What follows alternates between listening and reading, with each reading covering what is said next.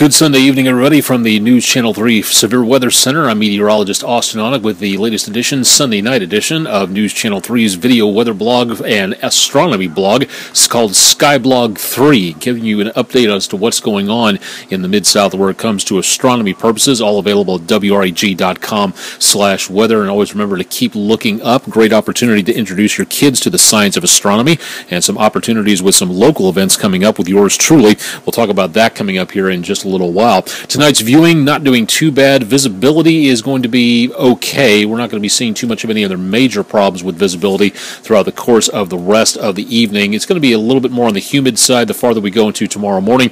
And by the time we hit early tomorrow morning, could be again a few clouds drifting on through with a new front and some possible fog forming and higher humidity levels could be a bit of a problem there. Brightest choices tonight, Venus and Saturn will be around a conjunction. We'll talk about that in just a little bit. Mars also will be in Sagittarius Sagittarius in the southern skies. Perseus rising, a very nice constellation to try to catch if you're an amateur astronomer.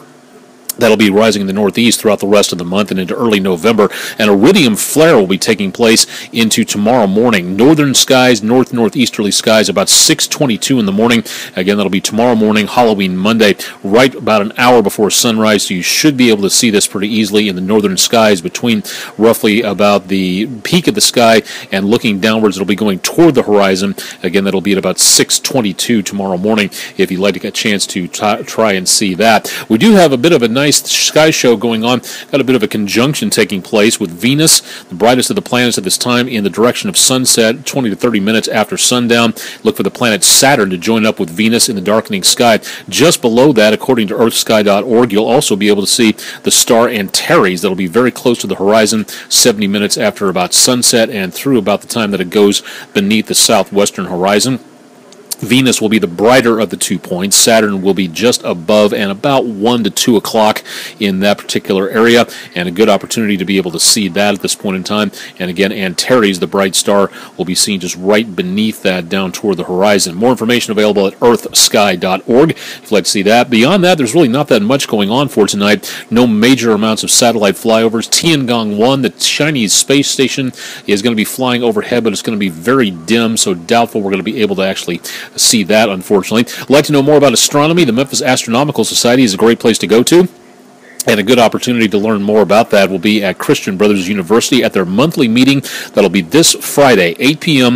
at a CC Science Hall. That'll be held on Central Avenue into around the Midtown area, just north of the Liberty Bowl and just along East Parkway. So if you'd like to hear that, the lectures taking place there will be me talking about weather uh, types of websites around the Mid South and beyond that you may not have thought of before when it comes to looking up information or radar. Very important to know about weather if you're an astronomer to see what's going on out across parts of the Mid South. And if you'd like to see more about the hidden aspects of weather knowledge out there where it comes to forecasting and keeping track of the weather on websites that you may not have thought of before, I'll have more on that. Plus, Rebecca Love will have more about light pollution in the Mid South area and getting the dark skies back so we can all do some more stargazing, whether we're in the city or out of it. There's too much light as it is, and we could use a little bit less of that to make certain that everybody is able to see the stars out there and make certain that we have a good opportunity to learn more. More information at Memphis Astronomical Society's website, memphisastro.org,